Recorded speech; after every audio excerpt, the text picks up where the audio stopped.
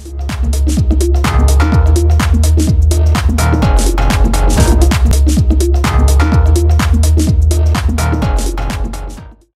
friends, welcome to our channel.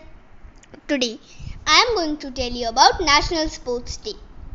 Let's begin. But before starting, if you are new to our channel or haven't subscribed yet, then subscribe to our channel.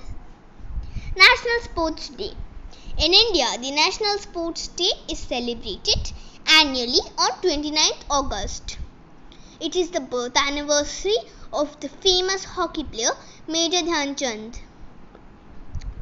Major Dhyan Chand won gold medals in Olympics for India in the years 1928, 1932 and 1936. National Sports Day is a public holiday in different cities. The National Sports Award like the Dhyan Chand Award, Dronacharya Award and Arjuna Award are given to the winning players by the President of India in, on this day. A lot of schools throughout the country celebrate this day as their annual sports day. This day is celebrated to make us aware of the necessity of sports in our life.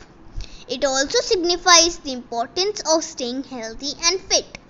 Young people are also encouraged and made aware of the possibilities in sports and what all advancement in the country has obtained in sport. Sports events like marathons, basketball, kabaddi, hockey, etc.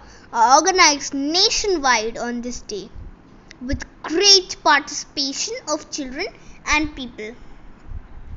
So friends, if you like today's video, then like, share and subscribe to our channel. Bye.